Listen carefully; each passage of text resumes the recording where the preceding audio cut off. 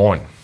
Überall in Deutschland sind Menschen angepisst auf die AfD. So angepisst, dass sie freiwillig das Haus verlassen haben und in der Kälte stehen, nur um zu zeigen, dass sie angepisst sind.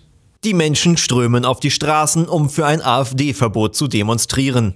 Die Hamburger Innenstadt platzt aus allen Nähten. Nachdem mindestens zehn Menschen zur Demo gegen rechts gekommen sind, musste die Demo wegen Überfüllung frühzeitig abgebrochen werden. Die Betreiber der Demo wollen sie deshalb nachholen und diesmal zur Sicherheit mindestens elf Menschen anmelden. Die zahlreichen Demos in Deutschland finden große Unterstützung aus der Politik.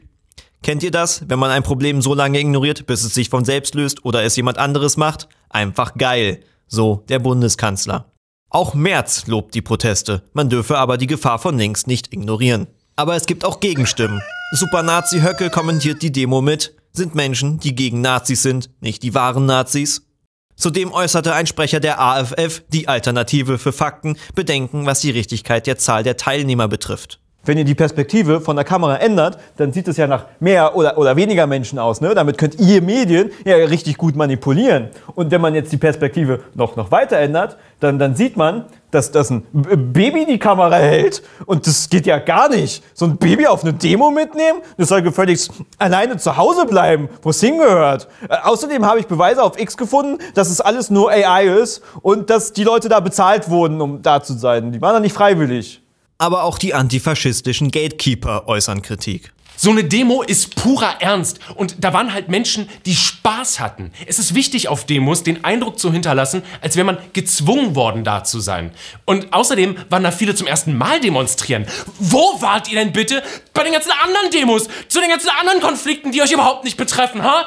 Ich war schon auf 100 Demos diesen Monat. Manche von denen waren ja noch nicht mal links. Man muss nicht links sein, um für ein AfD-Verbot zu sein. Sowas würde nur ein Rechter sagen. Während Journalisten prüfen, ob ein AfD-Verbot steil gehen würde, prüft die Regierung Alternativen zur Bekämpfung der Alternative. Um die Demokratie vor Nazis zu schützen, ist es leider nicht so einfach, eine Nazi-Partei zu verbieten. Vielen Dank dafür, Nazis. Deshalb werden verschiedene andere Vorschläge diskutiert, wie Kürzung des Taschengeldes, Alice Weidel das Schnitzel wegnehmen, Pappschildern mit coolen Sprüchen im Bundestag oder einfach alle Vorschläge der AfD kopieren. Scholz freut sich über jeden Vorschlag, der nicht vernünftige Sozialpolitik beinhaltet. Denn noch will er nicht aufgeben, den Rekord von Merkel als untätigste Bundeskanzlerin zu überbieten. Andere versuchen die Situation direkt für ihren Vorteil auszunutzen. So hat Rechtsextremismus Harry Potter Hans-Georg Maaßen angekündigt, mit der Werteunion seine eigene Partei zu gründen. Mit dieser wird es keine Brandmauer geben. Anders gesagt, sollte die AfD verboten werden, gibt es direkt braunen Nachschub. Während jedoch alle krass mad drauf sind, boomt die deutsche Wirtschaft. Denn nachdem die geheimen Abschiebepläne der Nazi-Kackwürste bekannt wurden, verkaufen sich deutsche Produkte plötzlich besonders gut. Während in Berlin demonstriert wird, wird in Berlin äh, demonstriert. Aber anstatt gegen braune Scheiße mit brauner Scheiße. Noch immer halt das Gehupe der Traktoren durch die Hauptstadt. Tausende Traktoren blockieren den Tiergarten, teilweise mit riesen AfD-Haufen, äh, Güllehaufen. Deutschlands Finanzstissler Lindner versucht sich jetzt bei einer Rede bei dem Pöbel einzuschleimen. Ich verstehe euren Frust. Während die Grünen euch das Geld wegnehmen wollen, kriegen diese Kinder alles in den Arsch geschoben. Die wollen nicht arbeiten, kriegen aber Kindergeld. Überall Rabatte. Und alles wird denen von den Eltern geschenkt. Ich werde deshalb nicht aufhören, bis ich jede Unterstützung für Kinder vernichtet habe. Das bin ich euch Bauern schuldig. Der Pressesprecher der Vereinigung der Babys kommentiert Lindners Rede mit Auto, während er enthusiastisch mit einem Finger auf einen Traktor zeigte. Die Mutter des Pressesprechers erklärte uns, dass er die Blockaden der Bauern toll findet, weil Auto. Aber er würde einen Protest der Baggerfahrer mehr unterstützen. In der Bevölkerung jedoch sinkt die Unterstützung für die Bauern. Ja, lokale Landwirtschaft ist wichtig, ähm, aber Klimaschutz ist ja auch wichtig. Und dass sie zur Arbeit kommen, ist auch wichtig. Also ja, zwei gegen einen wichtig. Okay, aber können die nicht ihr Gemüse einfach im Supermarkt kaufen?